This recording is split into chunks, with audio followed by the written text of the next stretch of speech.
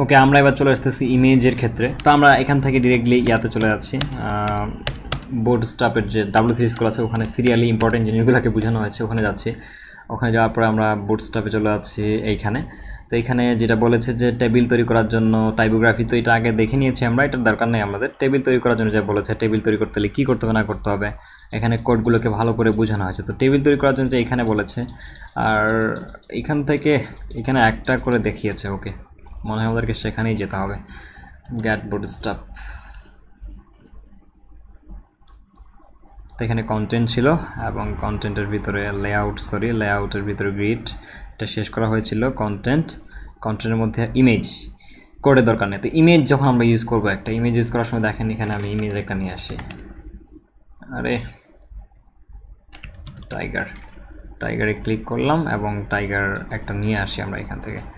এই টাইগারের পিকচারটা আমি ওপেন নিউ ট্যাব দিচ্ছি, হচ্ছে না। আচ্ছা। বুটস্টাপে ঢুকে গেছে। তো এই পিকচারটা আমরা ইউজ করব ওপেন ইমেজের নিউ ট্যাব এই ফাইলটা ইউজ করব এবং এটাকে জাস্ট এখানে দিয়ে দিচ্ছি আইএমজি এবং এর কিছু জিনিস আছে। এটা এরকম হলো। এটা যদি আমি রিলোড দেয় এটা কিন্তু পুরো স্ক্রিন চলে যাচ্ছে। যদি আমি একটা ক্লাস অ্যাড করে দিই এখানে যে ক্লাস, আপনি যেখানে আছে সেখানে দেন। আইএমজি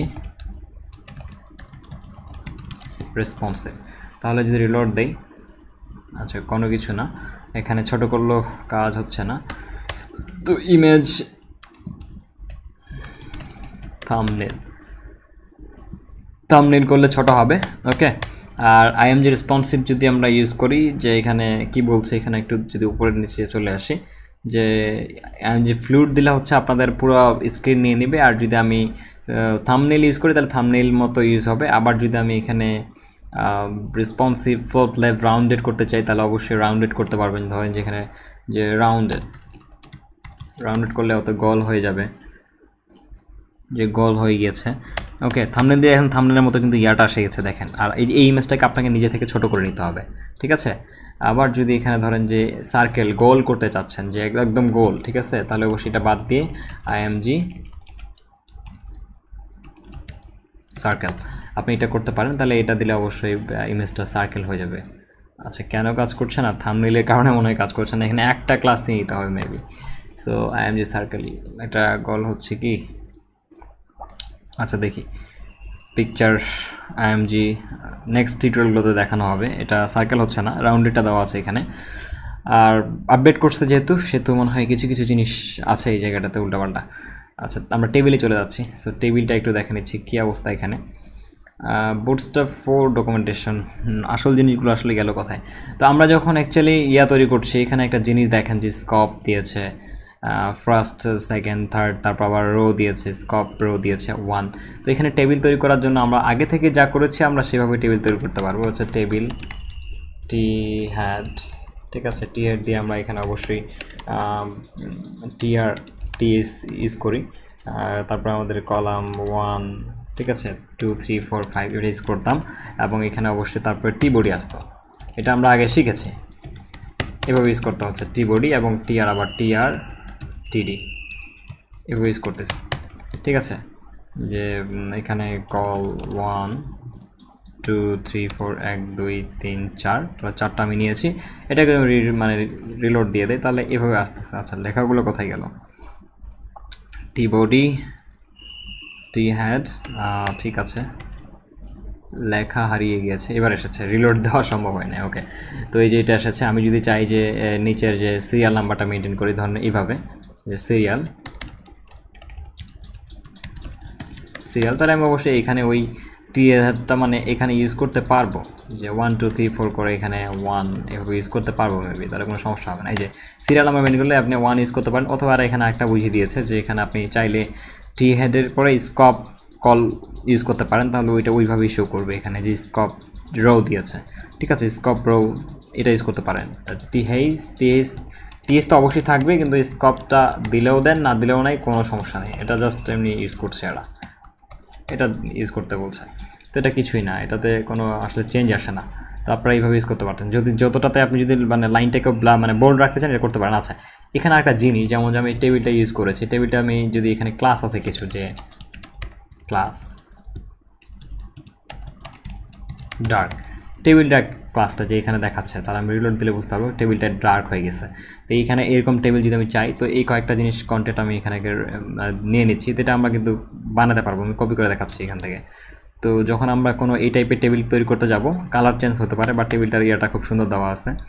বডি থেকে এটা সবটা তুলে দিচ্ছি, আমি আবার করতেছি। কন্টেইনার রো তারপর আছে ডিআইবি বারো। এটা নিলাম। আর এর ভিতরে আমি এখন টেবিলটা দিয়ে দিলাম, ওকে? টেবিলটা দিয়ে দিয়েছে এবং রিলোড দিলে আমরা পাবো এই যে এই টেবিলটা। তো এই টেবিলটা যদি আমরা এইভাবে নিতে চাই, এরকম রেসপন্সিভ কিন্তু এটা খুব ভালো।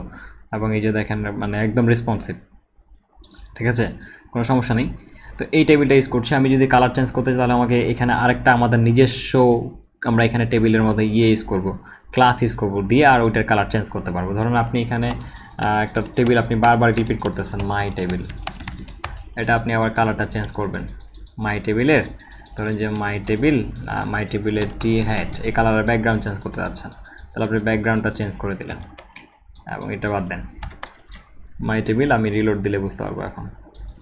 এই যে ব্যাকগ্রাউন্ড গ্রিন হয়ে গেছে। তো আপনি চাইলে এখান থেকে অনেকগুলো কাস্টমাইজ করতে পারবেন। তো এই টেবিলটা আবার যদি এরকম টেবিল ইউজ করতে তাহলে এরকম টেবিল ইউজ করতে গেলে অবশ্যই টি হেডে টি হেড ডার্ক দিতে হবে। যেমন টেবিল ডার্ক দিছিলাম, এখন টি হেড ডার্ক আচ্ছা আমি এখানে তাহলে এক কাজ করি। টেবিল ডার্ক আছে তো, তাহলে আমি অবশ্যই এখানে ক্লাস টি হেড যদি লাইট দেই, তাহলে কি আসে একটু লক্ষ্য করে দেখি। লাইট আসবে, ঠিক আছে? আবার যদি আমি চাই যে আমি এখানে চাচ্ছি যে লাইট লাইট আর এখানে চাচ্ছি ডার্ক এগুলো হচ্ছে স্ট্যান্ডার্ড ওদের কালার এবং এগুলো খুবই ইম্পর্টেন্ট সবাই পছন্দ করে। তো এইভাবে ডার্ক হবে আর কি একটু মানে কালো টাইপের তো এগুলা টেবিল সবাই পছন্দ করে। এরকম, আবার যদি আপনি এরকম করতে চান, সেটাও করতে পারবেন। কীভাবে করতে হবে এখানে বলে দিয়েছে। টি বডি টি হেড করার পরে এখানে আবার টি এইচ দিয়ে স্টার্ট করতে পারেন। মানে দুইটা টেবিলের একসঙ্গেই করেছে এখানে। আবার এখানে এই টাইপের টেবিল তৈরি করতে পারবেন, ঠিক আছে? আবার এরকম টেবিল করতে, তৈরি করতে পারবেন। কী বলছি এখানে? টেবিল স্টেপ তো টেবিল ডার্ক ইউজ করার পরে যদি আপনি বলেন যে এখানে একটা কালার চেঞ্জ হতে থাকবে, তাহলে অবশ্যই এইখানে বলে দেন যে টেবিলের এখানে বলে দিবেন যে টেবিল স্ট্রিপড স্ট্রিপ ইউজ করলে হবে কি? প্রত্যেকটা কালার আলাদা আলাদা হবে। এই যে দেখেন যে এই যে একটা কালার এই যে একটা কালার এই যে একটা কালার এরকম। সো এইগুলা মুখস্থ, একদম কোনো মা বাবা নাই মাপ চাপ নাই, অবশ্যই মুখস্থ করতে হবে। একটার পর একটা মানে একটা ব্ল্যাক একটা হোয়াইট একটা ব্ল্যাক একটা হোয়াইট এরকম করতে পারেন। আবার এখানে আরও টেবিলের অপশন আছে যে আপনি যদি এরকম টেবিল করতে চান, এরকম করতে পারবেন। টেবিল বর্ডার করতে চান বর্ডার দিলে বর্ডার চলে আসবে। তারপরে, আর আমাদের আগের মতোই কলেজ পান টু কলেজ পান থ্রি যে রেস করছিলাম সেভাবেই এই যে টেবিল ডার্ক ঠিক আছে? টেবিল বর্ডার দিলে বর্ডার চলে আসবে। তারপরে এখানে আবার বর্ডার চাইলে আমরা বর্ডার দিতে হবে। টেবিল অনেকগুলো ক্লাস এখানে ইউজ করতে হবে। টেবিল টেবিল বর্ডার বর্ডার তাহলে এখানে টেবিলের অবশ্যই বর্ডারে চলে আসবে, এই যে বর্ডার চলে এসেছে। তো এরকম ইউজ করতে পারেন। আর এখানে এই যে টেবিল বর্ডারলেস দিতে পারেন, তাহলে টেবিল বর্ডারলেস আসবে। এগুলো সব শুধু একবার দেখে নিয়ে মুখস্থ রাখতে হবে, নাহলে বারবার প্র্যাকটিস করতে হবে, তাহলে চলে আসবে। টেবিল বর্ডারলেস চলে আসছে। এরকম। তো আমরা আমাদের মানে আমরা আমাদের মতো শুধু টেবিলটা এসটিএম ফাইভে তৈরি করে নেব, আর টি ক্লাসগুলোকে ইউজ করলে আমরা আমাদের ডিজাইনটিকে পেয়ে যাব। এইগুলোই আর কি। এর থেকে অন্য কিছু নাই টেবিল সেকশনে